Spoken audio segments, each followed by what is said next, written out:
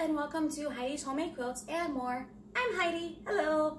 Today I actually have some quilt related stuff. Yay! Um, that doesn't happen very much since I don't technically live anywhere. um, but I did actually get an order for a quilt.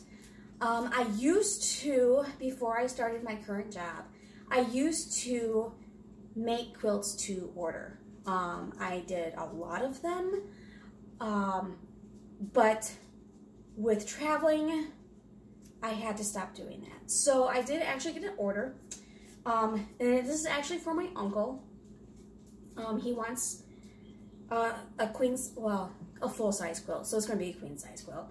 Um, so I'm like, okay, since it's for you, I'll go ahead and do it it's just gonna take some time because you know my schedule is kind of weird and with all the stuff going on in the world there's a lot of delays involved with being able to produce a full quilt okay but I ordered some stuff online so I'm super excited that I was able to actually find some stuff that I liked so first thing I'm gonna do is I'm gonna show you what I got for fabric okay and Keep in mind, I had no idea what I was going to do with this fabric. I just knew it was to be a quilt.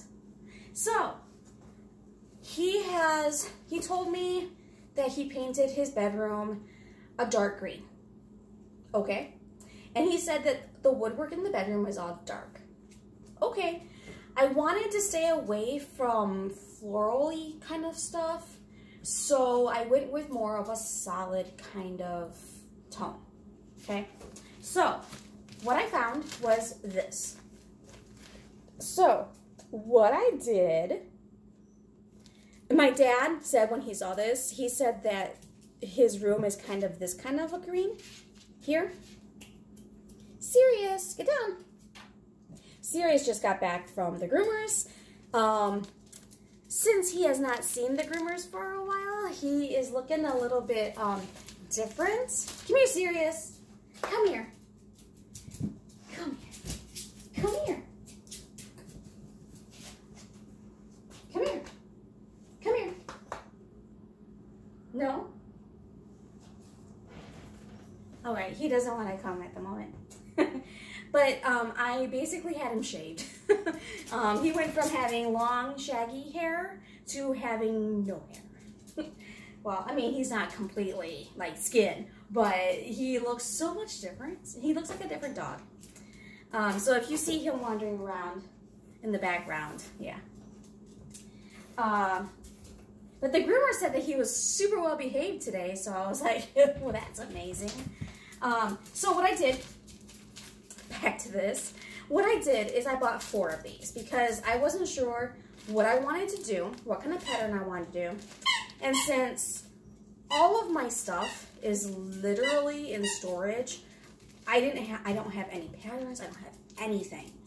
Um, I have my sewing machine that travels with me sometimes and like the basic necessities to put stuff together. So I got four of these. They're all the same. Okay. I ordered these all from um, Missouri Star Quilt Company. Um, like it's like around Hamilton, Missouri. I actually have been to their store. Um, went down to um, Hamilton, Missouri to see like the Mark Twain stuff and stopped in their store. So I've actually been to their store.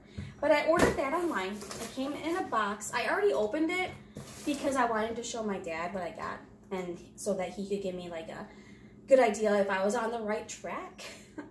um, so then, the same day, I ordered three books. I ordered these from Barnes & Noble online. I had some gift cards from Christmas that I wanted to, to use for that. I still have some gift cards from Christmas because there's a lot of money on that. But I'm like, hmm, maybe I should use those soon. So I ordered three different jelly roll type books. And I got this one. This book is the one that I have, the pattern that I'm going to do. And I'll flip through it here in a second, but I want to show you the pattern that I decided to make with this quilt. And this is the one that I'm going to do.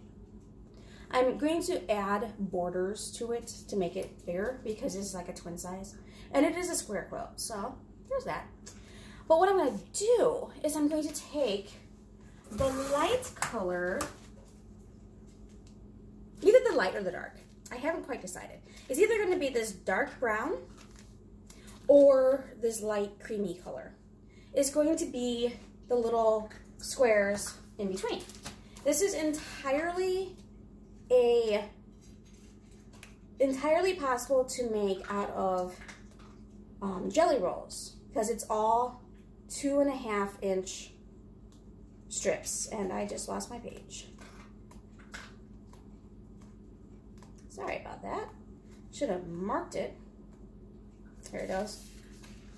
So on this one, so these white squares in between, those are just two and a half inch squares. So these are two and a half inch strips by whatever here. So this actually will go together super fast once I start sewing it. So that was also a plus of using jelly rolls because it's easy to cut and easy to sew together. So that is my idea. And then what I'm going to do is I'm going to do, if I have the, enough of the color, whatever color I use in here, whether it's the dark or the light, I want to do one single border of that around the whole thing to tie it together. And then what I want to do is either get some more of one of the other colors or something that's complementary with maybe like a very subtle pattern and do two more borders coming out from it to make it that queen size. So I, my finished product, I'm thinking is going to be approximately 100 by 100, give or take. So that is, that project is going to be coming up here very shortly once I figure out um, borders maybe, I don't know. It really depends on how Sirius behaves and if I can sit down and actually do this stuff. Okay, so I said I would flip through. So this is Jelly Roll Quilts in a weekend. Um, I think it's kind of funny when they say that because it never is actually just a weekend. You might be able to cut it out one weekend, piece it together in a weekend, you know, that kind of thing. Um, but to actually do the whole thing in one weekend is probably not. So I'm just going to show you some of the quilts that they have in this book. That one, very simple jelly roll quilt, just blocks. Okay. And this is by Pam and Nikki Lin Lintott. I think I have some of their other books too. Um, this one here. It's like a stepping stone.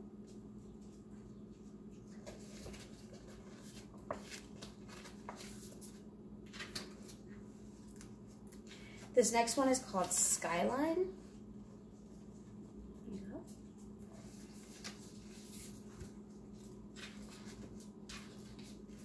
This one is called Springtime in Paris.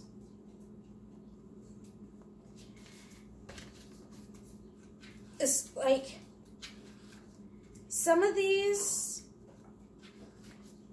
appeal to me more than other ones. I like stuff that looks like it's intricate, but not necessarily takes the time to be intricate. Um, but then again, I actually like stuff with lots of little bitty pieces uh, that's kind of my thing is little pieces. But when this one, and this one was called, I'm sorry, I should have said that, Sundial. And then the one that I'm going to make is called Norwegian Wood, which is that one again.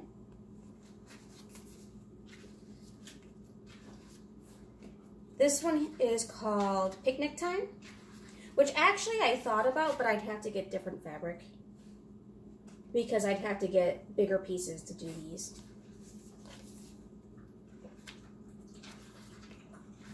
This one's called Beach Time.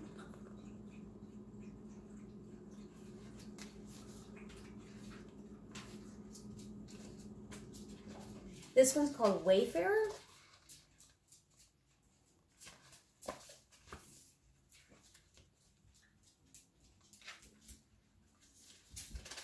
Honeycomb.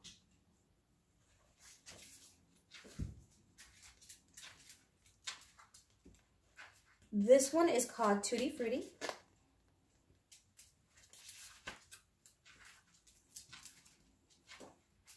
This one I really like, and I might do at some point, is called Nine Patch Sunburst.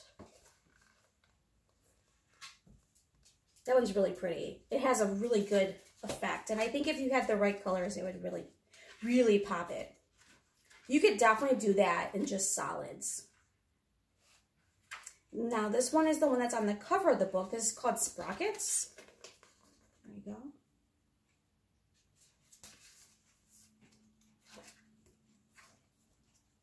And then the last pattern in here is called Circle of Friends, which I actually really like too. And it would be a great way to use up some kind of random fat quarters. All right, so that is the last pattern in the book. The other two books that I got, um, if you guys want to see these flip through, uh, leave me a note in the comment section. But I got Smash Your Pre-Cut Stash by Kate Carlson Colleran and Elizabeth Veit Balderrama.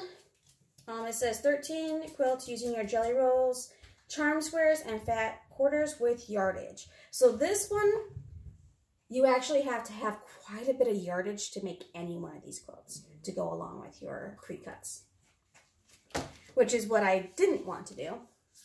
This one is Antique to Heirloom Jelly Roll Quilts, 12 Modern Quilt Patterns from Vintage Patchwork Quilt Designs. This is also by Pam and Nikki Lintott. Okay. And that's that one. This one has some really nice patterns, and I love little pieces. So I will probably do some from this one at some point in the very far future. Very far. Um, but I did actually really like some of the patterns in this. They just didn't work for what I wanted to do with this particular quilt. So, that's my project coming up. Again, I'll show you that one more time. Um, I don't know. I can't remember how much I paid for these. I want to say it was like, they didn't give me an invoice. They just gave me a little thank you card in the box. The only thing that came in the box was literally this little thank you card. Um, it says, you know, to visit their, their store online and all that stuff. Uh, Missouri Star Quilt Company. Um, I can't remember how much. And this is called Ombre Wash Art Warm by 40 Karat Gems, Wilmington Prints, wilmingtonprints.com. And it is 100% cotton. And there's 40 strips in here. Um, I, I want to say it was like 30 bucks a pack. I'm not really sure. Um, but there's that.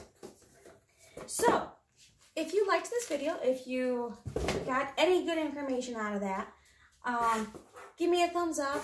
If you haven't subscribed, hit that subscribe button. But, as always, thanks for watching and have a great day.